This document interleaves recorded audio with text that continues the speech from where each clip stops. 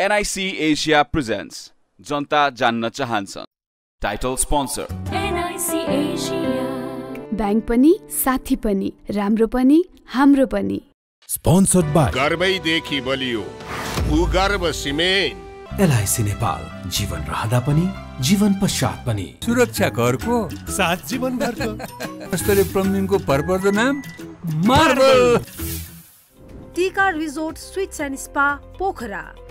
Supported by युनिराइजको साथ छ र त सबै पलहरू खास छ युनिराइज home appliances beginning of happiness flux education group new Baneshwor Kathmandu Original ergonomic kursi, V1 kursi. Vbone World Class Premium Chair Nice Tire Education, Lainsaur, Kathmandu. सबैका लागि सधैँका लागि शुभ कार्यको संस्कारमा म पनि आजै नेपाल टेलिकमको एन्टी फाइबर सेवा लिन्छु। नेपाल टेलिकम राष्ट्रको सञ्चार। सिमेन्ट सगरमाथा योगी बाल्ट्रा लिभ योर होम।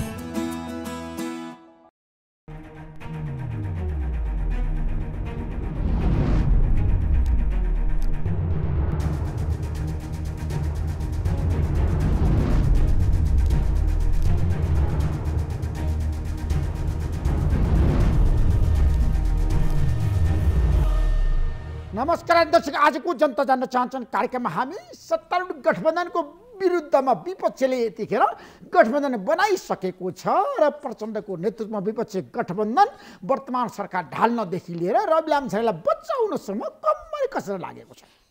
अहिलेको अवस्थामा साँच्चीकै नेपाल कम्युनिस्ट पार्टी माओवादी प्रतिपक्षी दल के भन्छ त? हाम्रो बिचमा पार्टीका प्रभावशाली नेता पूर्व मन्त्री सुधन किराँती हुनुहुन्छ। तपाईँलाई म जनता जान्न चाहन्छु कार्यक्रम स्वागत गर्न चाहन्छु। धन्यवाद। तपाईँको पार्टी राष्ट्रिय स्वतन्त्र पार्टीसँग सहकार्य गर्ने एकता गर्ने गठबन्धन गर्ने भन्ने निष्कर्षमा पुगिसकेको अवस्थामा र रवि लामिछाने पक्राउ प्रकरणपछि आधिकारिक दृष्टिकोण तपाईँहरूको के हो? ठिक कि बेठिक? होइन अब प्रतिपक्षी दलहरू भएको नाताले देशमा सरकारको उपस्थिति नदेखिसकेपछि खास गरी यो प्राकृतिक प्रकोपपछि जनतामा देखिराखेको निराशालाई पनि सम्बोधन गर्ने उद्देश्यले या जनताको त्यो अहिलेको स्थितिलाई सरकार मार्फत बढी ध्यान आकर्षण गराइदिनु पर्ने भएको हुनाले पनि विपक्षी दलहरूको बैठक बस्नु स्वाभाविक थियो। र त्यो बसिन्छ नै र त्यसलाई अझ कसरी प्रभावकारी ढङ्गले जनताको आवाजलाई स्थापित गर्ने भन्ने सन्दर्भमा हो। रवि लामी छानेको सन्दर्भमा चाहिँ यो कानुनी राज्य हो। कानुनी राज्यमा कानुनको पालना सबैले गर्नुपर्छ। कानुनभन्दा माथि न ऋषि धमला छ न सुदन किराँती छ न यो देशको कोही प्रधानमन्त्री राष्ट्रपति कोही पनि छैन। र पहिलो कुरा रवि लामी छानेले पूर्व गृहमन्त्री रवि लामी छानेले राज्यलाई सहयोग गर्नुपर्छ। इमान्दारपूर्वक सहयोग गर्नुपर्छ र लोकतन्त्रको मूल्यलाई नयाँ पुस्ताले स्थापित गर्नेमा योगदान गर्नुपर्छ। सेकेन्ड कुरा चाहिँ राज्य पूर्वाग्रही हुनु हुँदैन। व्यक्तिप्रति पूर्वाग्रही भएर तपाईँको चाहिँ समस्या समाधान गर्नु खोज्यो भने त्यसले झन् जटिलता ल्याउँछ। तेस्रो कुरा भनेको चाहिँ सहकारी ठग त धेरै छन्। तपाईँलाई थाहा छ। लाखौँ जनता ठगिएका छन्। ती सबै सहकारी ठगीहरूलाई चाहिँ छिटोभन्दा छिटो कानुनको दायरामा ल्याउनु पर्यो। चौथो कुरा चाहिँ के हो भने अब यस्तो काम तपाईँको चाहिँ हुनु नदिनुको निम्ति कानुन बनाउनु पर्यो। अहिलेको अवस्थामा सरकारले प्रतिशोध साध्यो भने तपाईँको भनाइ। होइन होइन। प्रतिशोध साँधो भन्ने होइन साँच्नु हुँदैन। अबको छानबिनमा साँच्नु हुँदैन। जहाँसम्म छ तपाईँको छानबिन समितिले लिएको प्रतिवेदनको आधारमा रवि लामिछानेलाई गिरफ्तार गरियो। र अब छानबिन हुन्छ। यो त अन्तिम त होइन। यो एउटा प्रक्रिया हो। र योमा इमान्दार साथ उहाँले पनि सहयोग गर्नुपर्छ। मैले भने लोकतन्त्रको मूल्यलाई नयाँ पुस्ताले युवाले झन् स्थापित गर्नुपर्छ। र राज्य चाहिँ पूर्वाग्रही भन्नु तर तपाईँको पार्टी माओवादी केन्द्र र पार्टीको अध्यक्ष पूर्व प्रधानमन्त्री प्रचण्ड यतिखेर रवि लामिछानेको बचाउमा खुलेर आउनु भएको छ। त्यसको। कारण के हो भन्नुहोस् है जनतालाई क्लियर कट? गर्नुहोस्। त्यो कहाँ छ र भन्दा ल एक दुई तिन गरेर तपाईँले कुनै एउटा उदाहरण दिनुहोस् त छैन। हिजो बैठक बोलाएर भन्नुभयो त प्रतिवाद गर्ने। त्यो त्यो बारेमा होइन। हिजो भनेको चाहिँ समग्र देशको अहिलेको स्थितिमा जनताको अवस्था चाहिँ धेरै नै नाजुक भयो। सरकारको उपस्थिति देशमा देखिएन। त्यस कारणले गर्दाखेरि यसलाई अझ प्रभावशाली बनाउनुको निम्ति प्रतिपक्षको तर्फबाट हामीले खेल्ने भूमिकाको सन्दर्भमा भएको छलफल हो। यही प्रकरणलाई चाहिँ सशक्त प्रतिरोध गर्ने भन्ने सन्दर्भ चाहिँ त्यहाँ उठेन। र अर्को अघि मैले पाँचौँ कुरा भन्दै थिएँ जिबी जस्तो सहकारी ठगीलाई कहिले पक्रिने? छिटो पक्रिनु पर्यो राज्य लागेर पक्रिनु पर्यो र जनताको एउटै मात्रै आवाज छ कि जिबी कहिले पक्राउ पर्छ र जिबी किन पक्राउ नपरेको हो भन्ने चाहिँ तपाईँको यो लोकप्रिय टेलिभिजनबाट तपाईँको साथमा रहेर म सरकारको गम्भीर ध्यान आकर्षण गर्न चाहन्छु। त्यसो भए वर्तमान प्रधानमन्त्री गृहमन्त्री जीवी राईलाई पहिला पक्रेर ल्याउनु पर्यो। सबै कुरा आउँछ त्यो सहकारी ठगी प्रकरणमा त्यो पक्रिन नसक्नुको कारण के हो भन्ने एउटा के हुनसक्छ कारण? त मलाई बताउनुहोस् आधार दिनुहोस् न त। होइन मैले अहिले आधार दिने तपाईँसँग सूचना छ होला नि त। किन? आधार म अहिले दिनेतिर म जाँदिनँ। राज्य सत्ता नै यदि लागेको हो भने करोडौँ ठगी गरेर जनताको साधारण अरबौँ। अरब। अरबौँ ठगी गरेर तपाईँको चाहिँ साधारण जनताको पैसा हिनामिना गरेर भाग्ने मान्छे किन पक्रिएको छैन? यो प्रश्न चाहिँ निकै नै पेचिलो बनेर जनतामा उठिराखेको छ। सहकारी ठगी प्रकरणमा राष्ट्रिय जनता पार्टीको सभापतिलाई पक्रिसकेपछि माओवादी केन्द्रको आधिकारिक दृष्टिकोण अहिलेसम्म आएको छैन। हो। तपाईँ पार्टीको एकजना जनताबाट निर्वाचित नेता पनि हो पूर्व मन्त्री पनि हो साँच्चीकै सरकारले जे गर्यो ठिक गर्यो कि बेठिक गर्यो? सिधा प्रश्न सिधा उत्तर। होइन यो मैले म अघि नै-। मैले भने कानुनी राज्यमा कानुनको पालना सबैले गर्नुपर्छ। श्यामेलाई एउटा कानुन लाग्ने रामेलाई अर्को कानुन लाग्ने हुँदैन। तर यहाँ सत्ता पक्ष हुँदाखेरि कानुन नलाग्ने र सत्ताभन्दा बाहिर गएपछि कानुन लाग्ने यो प्रवृत्तिको चाहिँ अन्त गरिनुपर्छ। रवि लामी छाने एउटा प्रक्रियामा जानुभएको छ। उहाँले राम्रोसँगले सरकारलाई राज्यलाई योगदान गरेर सहयोग गरेर फर्किनुपर्छ। तर उहाँले भन्नुभएको छ यो त सबै षड्यन्त्र हो। नयाँ दल सिद्ध्याउने नयाँ शक्तिलाई निमिट्यान पार्ने खेल सुरु भयो। त्यो उहाँको कुरा हो हाम्रो। पार्टीका अधिकांश नेताहरूले भनिसके। होइन होइन, त्यो उहाँहरूको पार्टीको कुरा हो हाम्रो कुरा होइन। यदि उहाँहरूले भने जस्तै नै सबै निर्धादुब्लालाई चाहिँ यतिखेर सिद्धाउने सत्ता पक्षले तपाईँको चाहिँ सारा आफ्नो पार्टीभित्र रहेको विकृतिलाई चाहिँ जोगाएर बस्ने त्यसले चाहिँ फेरि जनतामा उज्यालो दिँदैन। जनतालाई थप निराशा थप्ने गर्छ। त्यस कारणले के सत्ता पक्ष के प्रतिपक्ष? दोषीलाई यथाशीघ्र कानुनको दायरामा ल्याउनै पर्छ। लोकतन्त्र भनेको त्यो हो। त्यतिखेर मात्रै जनता शक्तिशाली हुन्छ। नत्र तर तपाईँको पार्टीको अध्यक्ष देशको पूर्व प्रधानमन्त्री भन्छु म अहिले त प्रधानमन्त्री हुनुहुन्न भए उहाँले आफ्नो क्याबिनेटमा रविजीलाई दुईपटक गृहमन्त्री बनाउनु भयो र बचाउनु भयो निर्दोष भन्नुभयो। बारम्बार रोस्टममा संसदको उभिएर भन्नुभयो उहाँ जस्तो क्लिन मान्छे संसारमा कोही छैन भन्ने प्रचण्ड होइन होइन। त्यो चाहिँ अहिलेको वर्तमान प्रधानमन्त्री केपी शर्मा ओली हो। अहिले पनि टेपहरू पल्टाएर हेरौँ रेकर्डहरू हेरौँ। सबभन्दा बढी प्रतिरक्षा र सबभन्दा बढी क्लिन छ भनेको कसले हो? त्यो चाहिँ अहिले रेकर्ड पल्टाउँदा हुन्छ। र त्यो बेला त उहाँको मात्रै कुरा। थियो। त्यो बेला सुरक्षा निकायका मान्छेहरूलाई बोलाएर भेटी कुरा गरेँ काहीँ पनि केही छैन। उहाँको संलग्नता छैन भनेर सुरक्षा निकायका प्रमुखहरूले भने त्यसैले उहाँ निर्दोष हो भनेर भने होइन। प्रचण्डले। प्रधानमन्त्री भइसकेपछि राज्य सत्ताको अङ्गहरूको रिपोर्टकै आधारमा मैले बोल्नुपर्ने भएको हुनाले प्रहरीसँग र विभिन्न तपाईँको चाहिँ अङ्गहरूसँग मैले सोद्धाखेरि उहाँमा त्यस्तो नदेखिएको भन्ने सहकारी सम्बन्ध आखिर त देखिएन। सहकारीकै पैसा ठगी गरेको भन्ने कुरा त उहाँले ठगी माने उहाँले सिग्नेचर गरेको त छानबिन समितिले लिएन। तर जब यता गोर्खा मिडिया प्रणालीमा आइसकेपछि आएको मिडिया पैसा- अपसल भएको हो नि त। गोर्खा मिडिया सहकारीकै मिडिया। त्यो हो। सहकारीकै पैसा हो। तर पुलिसले भन्दाखेरि त के भनौँ? त्यतिखेरको प्रधानमन्त्रीलाई भन्दा सहकारीमा ठगी देखिँदैन। सहकारीमै ठगी नदेखिएपछि त जे भन्नु त्यही प्रधानमन्त्रीले त भन्ने हो। त्यतिखेर भनिएको त्यही हो। र त्यति मात्रै होइन त्यो बेला त अहिले सत्ता पक्षको शीर्षस्थ नेता यो देशकै धेरैचोटि प्रधानमन्त्री पटक पटक प्रधानमन्त्री भएको ठुलो पार्टीको नेताले नै बोलाएर प्रधानमन्त्रीको अफर गरेको त तपाईँ हामी सबैलाई थाहा छ नि त। त्यस कारणले त्यतातिर नजाउँ त बडो तितो हुन्छ। अब तपाईँले पनि भने हो नि त्यतिखेर किन सत्ता टिकाउनु थियो? प्रचण्डले पनि रविजीको बखान गरेकै हो। उहाँ जस्तो मान्छे छैन राम्रो काम गरेको मान्छे भनेर भनेकै हो। त्यो के कति गर्नुभयो? मात्रामा तपाईँको चाहिँ प्रकरणमा संलग्नता छैन भनेर संसदबाटै प्रचण्डले घोषणा गरेकै हो। अघि मैले भनिसकेँ संयन्त्रको रिपोर्टको आधारमा बोल्ने हो तर सबभन्दा बढी राजनीतिक प्रतिरक्षा बाहिर कसले गरेको छ भन्ने कुरा चाहिँ त्यो चाहिँ रेकर्डहरू पल्टाएर हेर्दाखेरि हुन्छ। अहिलेको प्रधानमन्त्री र त्यो बेला तपाईँको चाहिँ म प्रधानमन्त्री दिन्छु भन्ने पार्टीको नेता। तर हाम्रो देशमा चाहिँ नेताहरूले किन कानुनी राज्यको प्रत्याभूति दिँदैनन्? किन आफूमाथि चाहिँ पक्राउ पूर्जी जारी गर्ने बित्तिकै आत्तिन्छन् आत्तिनै पर्दैन। किन आत्तिने कानुनी राज्यको चाहिँ नि पक्षमा जानु पर्दैन। पर्छ। ततै जानुभयो। अदालत छ नि त हाम्रो चाहिँ न्यायपालिका छ। न्यायपालिकाले न्याय दिन्छ। हो। गल्ती गरेका छैन भने। दिनुपर्छ। दिनुपर्छ। अहिलेसम्म दियो या दिएन त्यो छलफलको विषय पनि होला कति तर दिनुपर्छ। सिद्धान्त त दिनुपर्छ।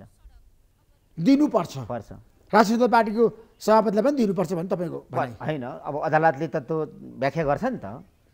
अब तपाईँको चाहिँ छानबिन समितिले लिएको प्रतिवेदनको आधारमा गोर्खा मिडियामा पैसा अपचलन भएको भन्ने आधारमा गिरफ्तार भएको होला। अब पुलिसले अनुसन्धान गरेर मुद्दा हाल्छ। अदालतले त्यसपछि फैसला गर्छ। त्यो त अदालतको विषय बनिसक्यो अब। होइन अरू नेता पनि धमाधम पक्रियो पछि यही सरकारको कुरा गर्छु। म प्रचण्ड त्यो सरकारको कुरा गर्न चाहन्छु। तपाईँ पनि मन्त्री हुनुहुन्थ्यो त्यो सरकारमा। त्यतिखेर नारायण श्रेष्ठ गृहमन्त्री हुनुहुन्थ्यो। उहाँले बालकृष्ण खाँड टोप बहादुर रायमाझी पक्रिया होइन? पक्रेको हो। अनि त्यतिखेर उहाँहरूले प्रतिवाद गर्नु भएन। लुरु लुरु हँहरू जानुभयो प्रक्रियामा।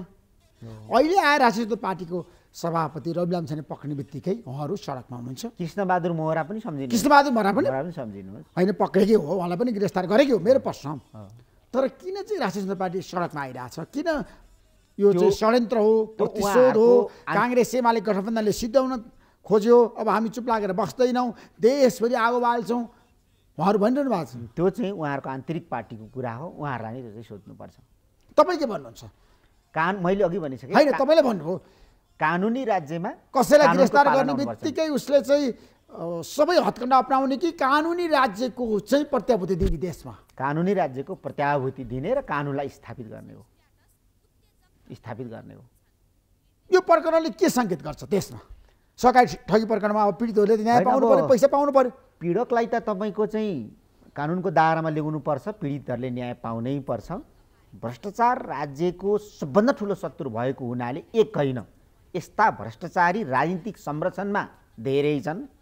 ती सबलाई कानुनको दायरामा ल्याउनुपर्छ। ढिलो नगरी यदि साँच्चै नै नै अभिभावक हुने हो भने राज्य सत्ताकै नेतृत्व गरिरहेको हो भने दुईटै बहुमत भएको बेला कसैलाई पनि छोड्नु हुँदैन। मेरो र पराई छुट्याउनु हुँदैन। म त्यो भन्छु। तर आज नेपाली समाज विभाजित छ। बिल्कुलै। समाजमा पछिल्लो समय अस्तव्यस्तता बढिरहेछ अराजकता बढिरहेछ कुरा हो। जसले जे गरे पनि हुने अवस्था सिर्जना भयो। किन यस्तो भइरहेछ? दुईटै मतको सरकार छ। अब सरकारले पनि कन्ट्रोल गर्न सकेन। यसको चाहिँ धेरैवटा फ्याक्टरहरूमध्ये सबभन्दा बढी निराशाका ज्वालामुखी चाहिँ सहकारीबाटै आएको छ। किनभने सहकारीमा लाखौँ मान्छे ठगिएका छन्। साना साना गुन्द्रुक तपाईँको तरकारी अनि तपाईँको मकै पोलेको नाङ्ले पसलेको पैसा फसेको छ। र अलिकति तपाईँको विदेशबाट लिएर कमाएर लिएर राखेको पैसा पनि फसेको छ। हिसाबमा चाहिँ करोडौँ छ तर गोजीमा चाहिँ सिटामल खाने पैसा छैन। अनि ती लाखौँ मान्छेहरू पीडित छन्। तिनको घरमा स्वास्थ्यको अभाव छ तिनीहरूको घरमा स्वास्थ्य तपाईँको शिक्षाको अभाव छ यी रोजगारीको अभाव यी सबै कुरा जोडिँदा मल्टिप्लाई हुँदै जाँदाखेरि आज देशमा ठुलो एउटा तपाईँले भने जस्तै समाज विभाजित छ निराशा छ र सबभन्दा त्यसको ज्वालामुखीको सेन्टर चाहिँ सेन्टर चाहिँ त्यो चाहिँ सहकारी भनेको जस्तो लाग्छ मलाई। अब तपाईँले चिन्नु भएको छ जस्तो प्रधानमन्त्री केपी शर्माहरूलाई किनभने तपाईँ एमाले माओवादी गठबन्धन बनाउनु पर्छ भने पहिला लाग्नुभयो दुई हजार चौहत्तर सालमा। त्यसपछि तपाईँहरू पार्टी एकता पनि गर्नुभयो। अहिले आएर पानी बाह्रको अवस्था छ। एमाले र माओवादीको बिचमा द्वन्द्व विवाद मतभेदहरू धेरै छ। रविलाम छानेको पक्षमा केपी शर्मा ओली हुनुहुन्थ्यो भने तपाईँले भन्नुभयो? सबभन्दा बढी सबभन्दा बढी। सबभन्दा बढी केपी शर्माले बचाउ बढी गर्नुभयो? बढी एक समय। तर अहिले उहाँले नै जेल हाल्नुभयो। उहाँले नै गिरफ्तार गर्नुभयो। यो चाहिँ राजनीतिमा बोल्ने र गर्नेको कथनी र करनी मिलिराखेको छैन। दुई पटक रवि लामिछाने गिरफ्तारमा पर्नुभयो। दुवै पटक केपी शर्मा ओली प्रधानमन्त्री हुँदा। हो कथनी र करनी मिलिरहेको छैन। जे हो त्यही बोल्नुपर्छ र त्यही गर्नुपर्छ। गिरिजा प्रसादले भन्नुहुन्थ्यो नि म जे बोल्छु त्यही गर्छु। जे गर्छु त्यही बोल्छु। त्यही गर्नुपर्छ। अब तपाईँ पर्यटन मन्त्री भन्नुभयो तर पशुपति विकास कोषको कुरा गर्दाखेरि मारवाडी सेवा समितिको कुरा गर्दाखेरि पर्यटन मन्त्रालयको कुरा गर्दाखेरि किन त्रिपक्ष भिडन्त किन द्वन्द्व किन विवाद? अब म हुँदाखेरि त भिडन्त त्यस्तो थिएन। अहिले त व्यापक रूपमा आइरहेछ। अहिले चाहिँ यो गौशाला धर्मशालाको सन्दर्भमा केही विवादहरू सडकमा देखिन्छन् र त्यसलाई छिटोभन्दा छिटो कानुनद्वारा नै नियन्त्रित गरेर त्यो पशुपतिको जग्गा पशुपतिमै फर्काउनुपर्छ। होइन गौशाला धर्मशाला कसको हो त? गौशाला ठ्याक्कै भन्नुहोस्। महानगरपालिकाको कि पर्यटन मन्त्रालयको कि धर्मशाला? गौशाला धर्मशाला पशुपतिनाथको हो। त्यो राज्यको हो त्यो नेपाली जनताको हो र अहिले चाहिँ संस्कृति पर्यटन नागरिक उड्डयन मन्त्रालयको मातहतमा छ। यो कसरी यस्तो हुनु गयो भन्ने कुरामा अलिकति म तपाईँलाई भन्छु। अस्सी सालमा जतिखेर म मन्त्री थिएँ त्यो बेला मैले यो सम्झौता ब्रेक गरेको। किन ब्रेक गरेको? भन्दा यो यो धेरै वर्ष अगाडि जुद्ध शमशेरको पालामा उन्नाइस सय सन्तानब्बेतिर जुद्ध शमशेरको पालामा पच्चिसवटा साँडे पाल्ने नाममा त्यसलाई घाँस रोप्ने जमिनको रूपमा गौशाला धर्मशाला दिइएको थियो। त्यो कुनै चिलकटोको भरमा मुखको भरमा कुनै लिखित पनि छैन। त्यसपछि त्यसो गर्दै आइसके पछाडि पछि तपाईँको चाहिँ अडतिस सालमा आएर निकै ठुलो विवाद भयो। भएछ इतिहास हेर्दाखेरि। अनि त्यसलाई तपाईँको चाहिँ अडतिस सालमा अञ्चालाधीशले त्यतिखेर त क्षेत्र पशुपति विकास कोष थिएन। अञ्चालाधीशले आएर हस्ता हस्तक्षेप गरेर केही रकम तिराएर अनि उनीहरूलाई तपाईँको चाहिँ दिइएछ। र पचपन्न सालमा आएर राज्यको सबै अङ्गहरू नमान्दा नमान्दै उहाँहरूले तल थप्दै लगेछ। र साठी सालमा आएर कुबेर शर्मा मन्त्री त्यतिखेर हुनुहुन्थेछ। उहाँको पालामा थप तपाईँको चाहिँ सम्झौता गरिएछ। वर्षको एक एकाउन्न हजार सहयोग गर्ने पशुपतिनाथलाई। र उनीहरूले तपाईँको चाहिँ ध के भन्ने त्यो सेवाको नाममा त्यत्रो चलाउने। मैले त्यतिखेर भनेको थिएँ कि आजको समयअनुसार भाडामा समायोजन गरौँ। र तपाईँहरूले नयाँ ढङ्गले सम्झौता गरेर जानु। यो सम्झौता केही देखिएन। केही छैन यो त। भनेर भन्दाखेरि उहाँहरूले नटेर्दाखेरि उल्टो धम्कीसम्म तपाईँको चाहिँ ममाथि थुपार्दाखेरि थपिँदाखेरि प्रलोभन पनि त्यत्तिकै उहाँहरूले विभिन्न ढङ्गले दिनुभयो करोडौँको। तर मैले त्यसलाई प्रवाह नगरी मैले पशुपति क्षेत्र विकास कोषको बैठक बसाएर सम्झौतालाई ब्रेक गरेँ। त्यो सम्झौताको विरुद्धमा उहाँहरू अदालत जानुभयो। म त्यति पछि निक्लिहालेँ। अदालतले अहिले यो पशुपति विकास कोषको मातहतमै रहेको जग्गा त्यस कारणले तपाईँहरूको केही पनि प्रमाण रहेन भनेर अहिले फैसला गरिदिएको होइन अदालतको फैसला आइसक्यो। तर पनि काठमाडौँ महानगरपालिकाका मेयर बालिसाले डोजर लिएर जानुभयो त्यहाँ। अब म मलाई यो मारवाडी सेवा समितिको भवन भत्काउन। मलाई पछिल्लो जानकारी थाहा छैन। पछिल्लो चाहिँ उहाँहरू मैले सुने अनुसार चाहिँ के छ भने यसको अध्यक्ष त मन्त्री हुन्छ सम्बन्धित मन्त्री हुन्छ संस्कृति पर्यटन तथा नागरिक उड्डयन मन्त्री। मन्त्रीको अध्यक्षतामा बसेको बैठकले चाहिँ सातवटा बुदामा सहमति गरेर अब अदालतले फैसला गरेको आधारमा अब राज्यकै संयन्त्रलाई नै तपाईँको चाहिँ कोही सहयोगमा चलाउने भनेर महानगरलाई सात बुदा सहमति गरेर दिएको अरे भन्ने सुनेको। होइन महानगरपालिकाले पहिला सरकारसँग सम्झौता गर्यो तर सरकार अहिले ब्याक भयो। ब्याग भए। र मैले भने यहाँ दुईवटा मात्रै कारण हुनुपर्छ ब्याग हुने। एउटा कारण यहाँ करोडौँको प्रलोभन आउँछ। त्यो प्रलोभनमा कि त चुक्नु हुँदैन। एउटा तेह्र मन्त्री कसैको प्रलोभन चुक्नुभयो होइन मलाई त्यो त प्रमाण छैन। भद्री पाण्डेलाई कसैले चाहिँ पैसाको बिटा दियो भन्न खोज्नु मैले? भोगेको मैले भोगेको कुरा तपाईँले। भोगेको कुरा। दुईवटा कुरा तपाईँलाई पनि पैसाको प्रस्ताव आएको दुईवटा कुरा हुन्छ यहाँ। एउटा ठुलो तपाईँको प्रलोभनको अफर हुन्छ। सेकेन्ड कुरा धम्की हुन्छ। तेरो राजनीतिको इन्सुरेन्स छ कि छैन भन्नेसम्मको धम्की गरिन्छ र गराइन्छ। यो दुईवटा कुरा मात्रै हो। यो पछाडि हट्नुपर्ने कारण। त्यसो गल्ती कसको त? पर्यटन मन्त्रीको पछि हट्नुपर्ने कारण। अब यो पछि त। हट्ने हुन्थेन। यो त पछि त हुट हट्ने हुन्थेन। पर्यटन मन्त्री पछि हट्नु हुन्थेन। पर्यटन मन्त्री यो सरकार भनौँ न अब। होइन पर्यटन मन्त्रालयको पर्यटन नेतृत्व मन्त्री- त बद्री पाण्डेले गर्नु भएको छ। पर्यटन मन्त्री त म तपाईँकोले त दिएको मैले सुन्छु। दिएको थियो सात बुधे सहमति गरेर। पछि प्रधानमन्त्रीको ठुलो एउटा थाम्नै नसकिने दबाब अर्थात् कता कताको शक्ति केन्द्रको दबाब आएपछि हटो भन्ने सुन्छु।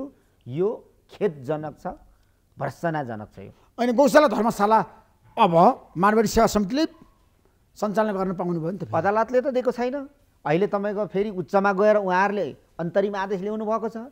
मेरो जानकारी भएअनुसार पाँच गते बोलाइएको छ अरे कार्तिकको। मलाई लाग्छ संसारको कुनै पनि अदालतमा गएर यो मुद्दा माडवाडी समाजसेवाले चाहिँ जित्दै जित्दैन। जित्दै जित्दैन? जित्दै जित्दैन मारवाडीहरू सबै एक भएर लागिसके। हो कतिखेर जित्छ भने जतिखेर उहाँहरूले सेटिङ गर्नुहुन्छ र राज्यको तर्फबाट डह्रो डिफेन्स गरिँदैन नि। मुद्दा तपाईँको चाहिँ प्रतिवादी खापिँदैन त्यतिखेर चाहिँ फेरि उनीहरूले जित्न सक्छ। यदि सरकार हारो भने हाम्रा सरकारका निकायका मान्छेहरू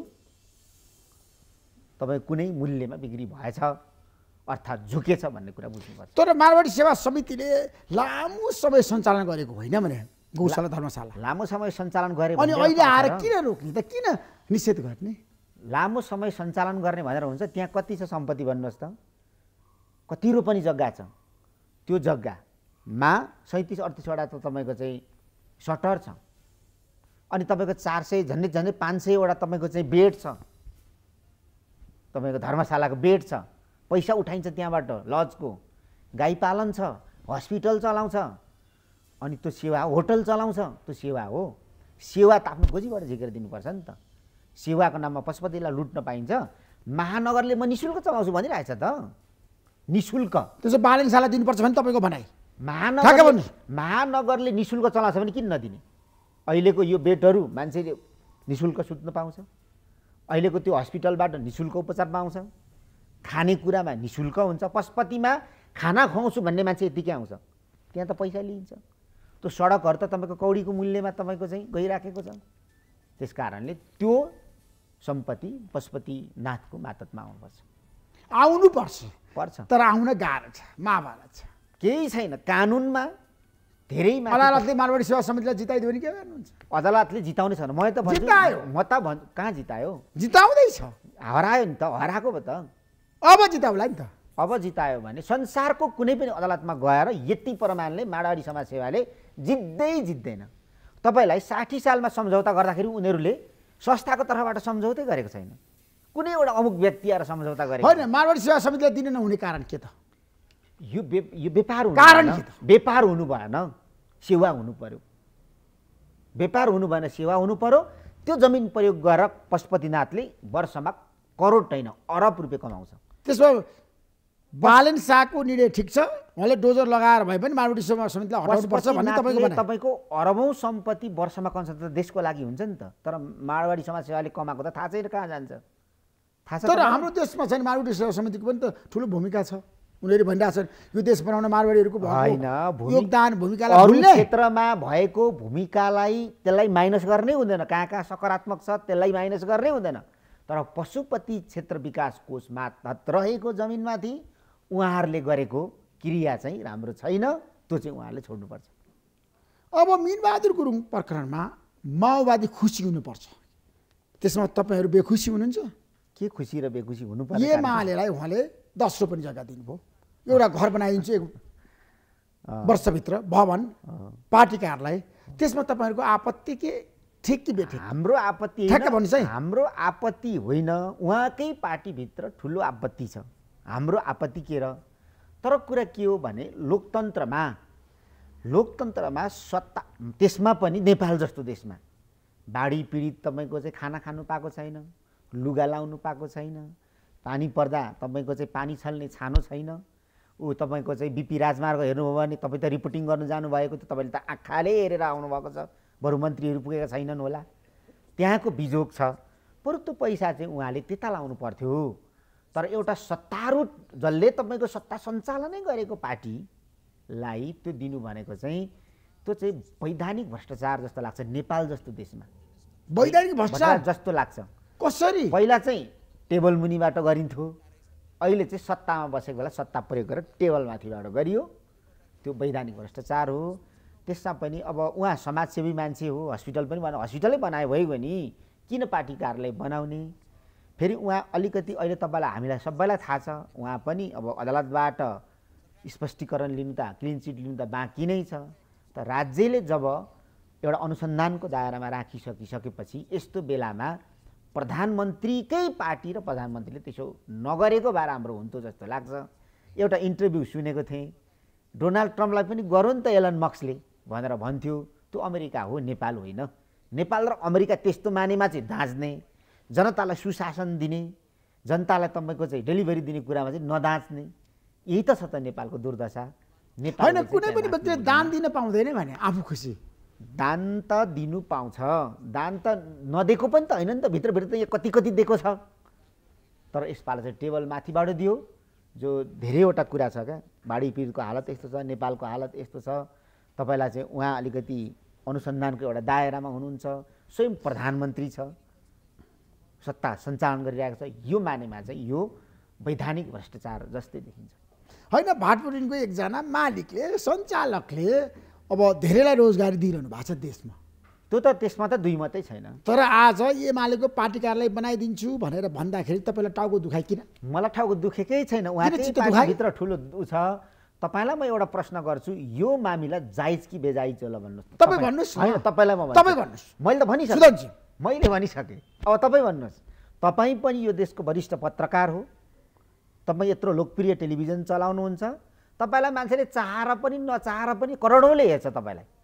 कसैले गाली गर्ला कसैले समर्थन गर्ला। तपाईँ त्यो त्यो एउटा तपाईँको चाहिँ कम्पन भएको मान्छे हो व्यक्तित्व हो। भने त तपाईँ भन्नुहोस् न त ल तपाईँ देशको नागरिक भएको हुनाले यो ठिक कि बेठिक? होइन तपाईँ आज एकजना माओवादी केन्द्रको आधिकारिक व्यक्तिको रूपमा जनतालाई केही बताइदिनुहोस् कि? मैले गुरु प्रकरणमा। मैले बताइसकेँ यो वैधानिक भ्रष्टाचार हो। वैधानिक भ्रष्टाचार हो यो। तपाईँ भन्नुहोस् यो के हो? तपाईँ भन्नुहोस् न तपाईँ तपाईँले त नीतिगत भ्रष्टाचार भन्नुभयो यसलाई। नीतिगत होइन वैधानिक भ्रष्टाचार भन्दैछु। नीति बनाएर त भ्रष्टाचार गरेकै होइन नि। त्यसमा एमाले पार्टीको कार्यालय बनाउनको लागि पैसा दिनु गलत थियो। तपाईँको सरकारमै बसे नेतृत्व गरेको पार्टीलाई पार्टी कार्यालय बनाइदिन्छु। त्यो त सत्ताको दुरुपयोग पनि हो नि। अख्तियारको दुरुपयोग होइन त्यो। तपाईँको यो चाहिँ टिभीलाई लगानी गरे पनि त हुन्छ नि त। अर्थात् एउटा हस्पिटल बनायो त उहाँले बनाउनु भयो त्यसलाई थपे हुन्छ नि त। हो कि भन्नुहोस् त? स्कुल बनाए हुन्छ नि होइन बाढी पहिरो पीडितलाई राहत दिएको भए पनि त कति राम्रो हुन्थ्यो। घर बनाइदिएको भए पनि हुन्थ्यो। चार पाँच ठाउँ चाहिँ एकीकृत बस्ती उहाँले यति पैसाले बनाइदिएको भए। अर्थात् एक ठाउँमा त एकीकृत बस्ती उहाँ त अमर हुन्थ्यो नि। अनि किन त्यसो भयो भन्दाखेरि सत्ताको छाया पर्यो भनेपछि त्यो अख्तियारको दुरुपयोग पनि हो। तर पहिला तपाईँकै पार्टीसँग भएको निकटता थियो। प्रचण्ड र मिनबहादुर गुरुङको धेरै चर्चा भयो। मैले चाहिँ तपाईँहरूले गरिदिएको चर्चा मात्रै सुनेको सडकमा मैले आँखाइले चाहिँ देखिनँ। भनेपछि नेपालमा एउटा चर्चा हुन्छ अर्कै काम हुँदो रहेछ। तपाईँको खाएर जुङ्गा जुङ्गा नपुछी हिँड्ने एउटा हुँदो रहेछ। अनि खाँदै नखाएकोलाई खाइस् भनेर तपाईँको भन्ने अर्को हुँदो रहेछ। अब त जुङ्गामै देखियो। तर एमाले पार्टी कार्यालय उहाँले बनाउँछु भनिसकेपछि होइन धेरै विरोध पनि भयो र उहाँले फेरि सबै पोलिटिकल पार्टीको म कार्यालय बनाइदिन्छु भन्नुभएको छ सबैको बनाइदिन्छु म सबै काङ्ग्रेस एमाले माओवादी राष्ट्रिय जनता पार्टी रापपा सबैको पार्टी कार्यालय बनाइदिन्छु भनेर घोषणा गर्नुभयो उहाँले। गर्नुभयो मैले सुनेको छैन। त्यो ठिकै बेठी होइन सु गर्नुभएको हो। उहाँले भन्नुभएको छ म बनाइदिन्छु राष्ट्रिय पार्टीको कार्यालयहरू बनाइदिन्छु सबै पार्टीको। त्यसो भए म उहाँलाई गम्भीरताका साथ र विनम्रताका साथ अनुरोध गर्छु तपाईँ यतातिर बालुवामा पानी नहाल्नुहोस्। तपाईँलाई अझ आरोप लाग्छ। तपाईँले चाहिँ देशमा जे गरिराख्नु भएको छ त्यही गर्नुहोस्। तपाईँ देशको एउटा चाहिँ ठुलो राष्ट्रिय पुँजीपति मान्छे पनि हो। अझ अझ विकास गर्नुहोस्।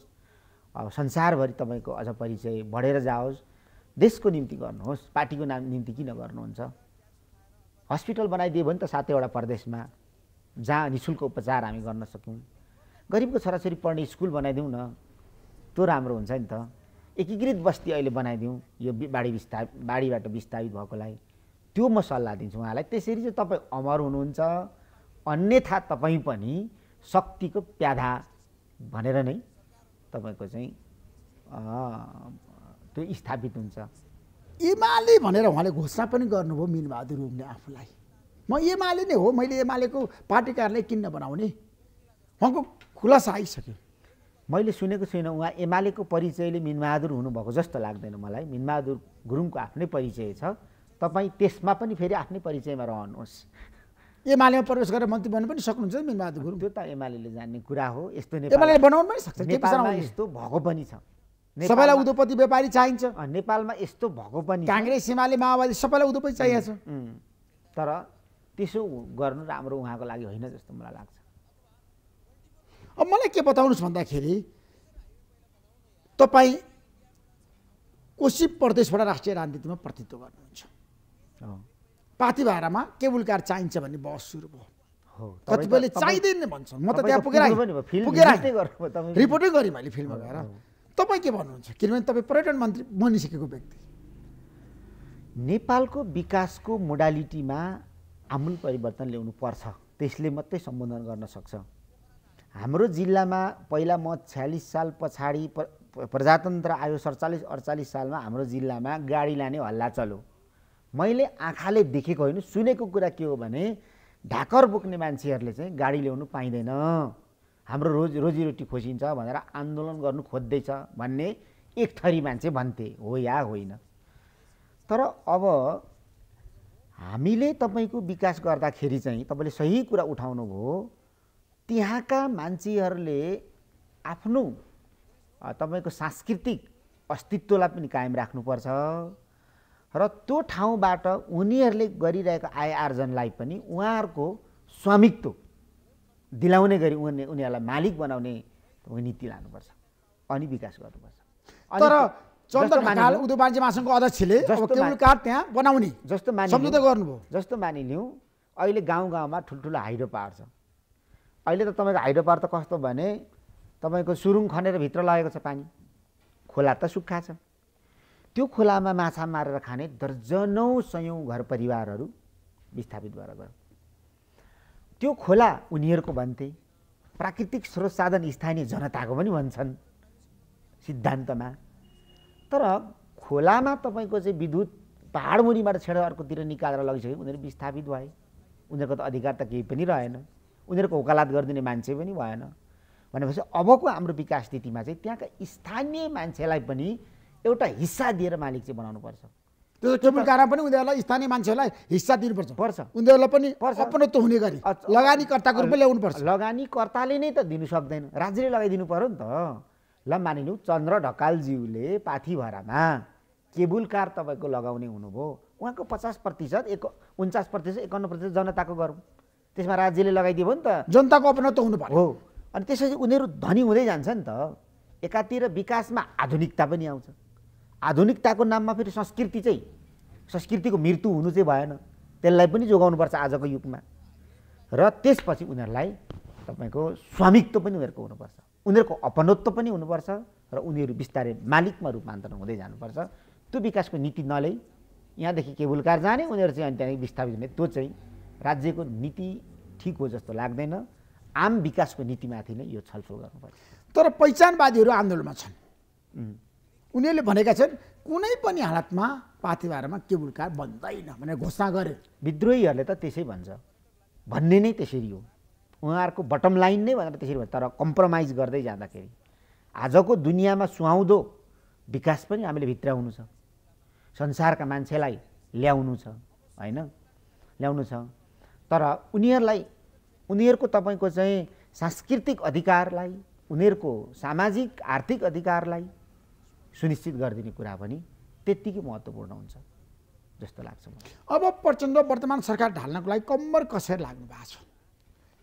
र सत्ताबाट बाहिरिँदाखेरि माओवादीलाई छटपट्टि भयो कम्बर कसेर लाग्नु भएकै छैन। उहाँले के बाटो सुरु गरिसक्नु काङ्ग्रेसका अधिकांश नेतासँग। तपाईँले अस्ति इन्टरभ्यू लिँदै हुनुहुन्थ्यो। बेसरी त्यो इन्टरभ्यू त चलो पनि।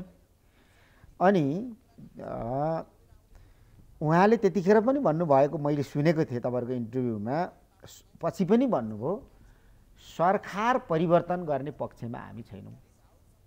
तर यो सरकार आफै नै यसको आफ्नो विकृति विसङ्गति पूर्ण व्यवहारले आफै नै ढल ढल्छ ढल्ने भयो भन्ने कुरा नै उहाँले त्यहाँ राख्नु भएको छ।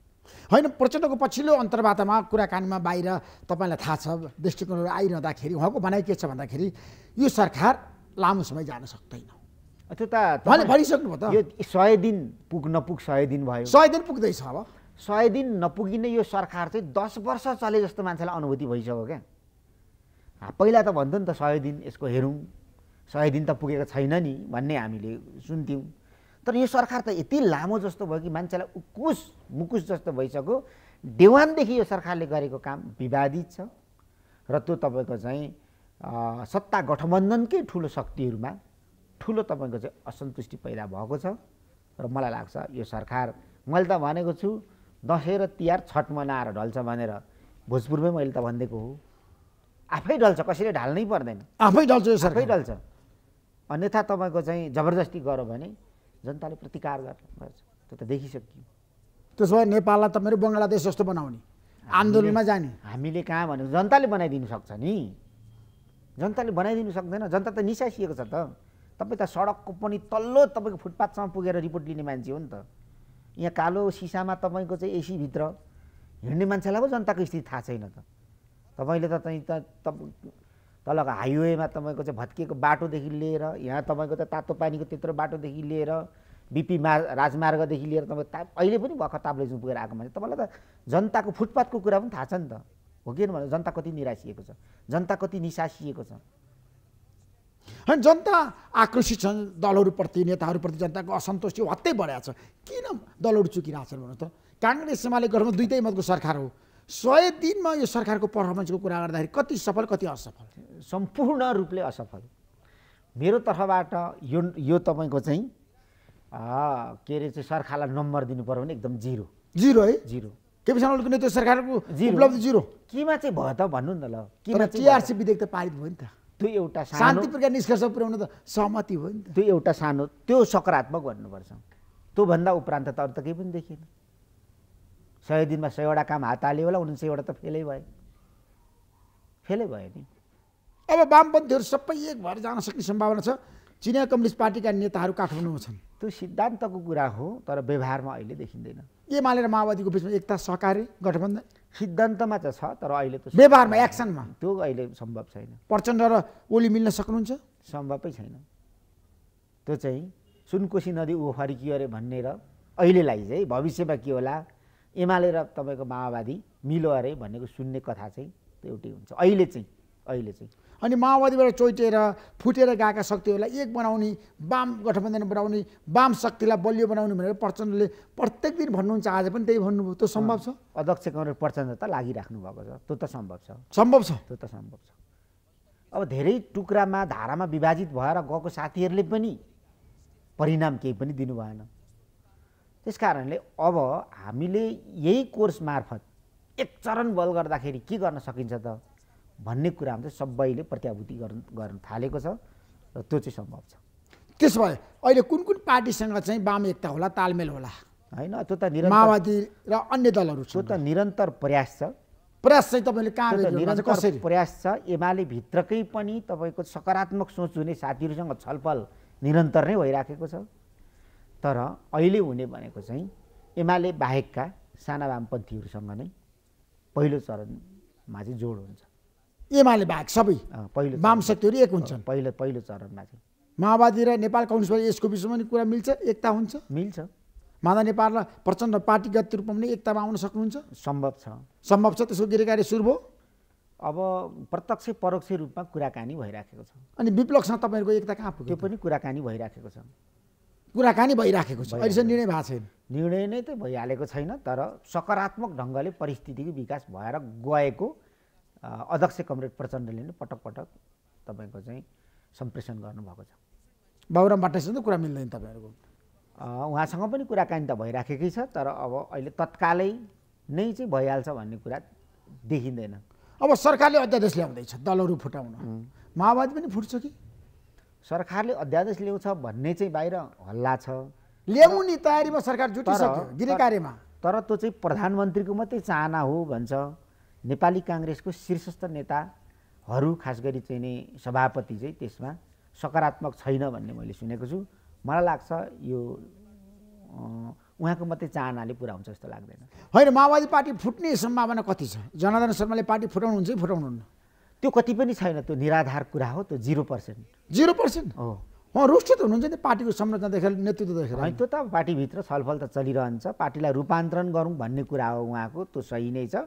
सातै प्रदेशको परामर्श बैठकहरूमा अध्यक्ष कमरेड प्रचण्ड स्वयं उपस्थित भएर पार्टी रूपान्तरण नभई यही स्थितिमा चल्न सक्दैन भनेर उहाँले पनि भनिसक्नु भएको छ त्यसो पार्टी फुट्दैन माओवादी केन्द्र। फुट्दै फुट्दैन। जनार्दन शर्माले पार्टी छोड्नुहुन्न। त्यो त कल्पनै छैन। प्रचण्डलाई विस्थापित गरेर उहाँ अध्यक्ष बन्न सक्नुहुन्छ भविष्यमा? त्यो पनि होइन। त्यो पनि होइन। उहाँले त्यो पनि भन्नुभएको होइन। अहिले तर नेतृत्व कमजोर भयो। एउटा- परिवर्तन गरौँ उहाँको यो त। यो त तपाईँको चाहिँ यो कस्तो भयो भने हाम्रो सिस्टम कमजोरी भयो। हामीले रूपान्तरणको पटक पटक तपाईँको चाहिँ प्रतिबद्धता गरे पनि सिस्टमहरू निर्माण हुँदा नहुँदाखेरि कमजोर भयो पार्टी। त्यस कारणले पार्टीलाई रूपान्तरण गर्ने भन्ने सन्दर्भमा त्यही हो। त्यो अहिले भनेको चाहिँ उहाँले विभिन्न प्रस्तावहरूमध्ये त एउटा राखेकै छ यसलाई अब विघटन गरौँ यो समितिलाई अध्यक्ष कमरेड प्रचण्डकै नेतृत्वमा अधिवेशनमा जाउँ विशेष अधिवेशनबाट अगाडि जाउँ। भन्नुभयो। अब सहकारी ठगी प्रकरण साङ्गठित अपराधमा चाहिँ रवि लामछानेलाई कस्तो कारवाही होला? अनुमान गर्नुभएको छ? त्यो अदालतले व्याख्या गर्ने हो मैले होइन। म फेरि अदालतको कुरामाथि म किन जाने? त्यो त अदालतको दायरा हुन्छ क्या। त्यो आफ्नो दायराभित्र रहनुपर्छ। अहिले सडकमा छ नि विद्रोहको सम्भावना बढ्यो। जनता सडकमा आउने। वास्तवमा यो सरकार चाहिँ बारुदको पहाडमाथि उभिएको छ। बारुदको पहाडमाथि उभिएको छ कसैले आगो लगाइदियो भने सल्किन सक्छ। थ्याङ्क यू सो मच सुधर गिराजी महत्त्वपूर्ण समय। दिनुभयो। तपाईँलाई म धेरै धेरै धन्यवाद दिन चाहन्छु। नमस्कार। धन्यवाद। NIC Asia presents. जनता जान्न चाहन्छन्। टाइटल स्पोन्सर ब्याङ्क पनि साथी पनि राम्रो पनि हाम्रो पनि। स्पोन्सर्ड बाई गर्वैदेखि बलियो। भूगर्भ सिमेन्ट। एलआइसी नेपाल जीवन रहँदा पनि जीवन पश्चात पनि। सुरक्षा करको सात जीवनभरको स्तरीय प्लम्बिङको भरपर्दो नाम marble Tika resort suites and spa Pokhara. Supported by युनिराइजको साथ छ र त सबै पलहरू खास छ। युनिराइज home appliances beginning of happiness flux education group new Baneshwor Kathmandu original ergonomic कुर्सी भी वान कुर्सी Vbone World Class Premium Chair Nice Tire Education, Lainsaur, Kathmandu. सबैका लागि सधैँका लागि। शुभ कार्यको संस्कारमा म पनि आजै नेपाल टेलिकमको एन्टी फाइबर सेवा लिन्छु। नेपाल टेलिकम राष्ट्रको सञ्चार। सिमेन्ट सगरमाथा एउटै छ Baltra Live your home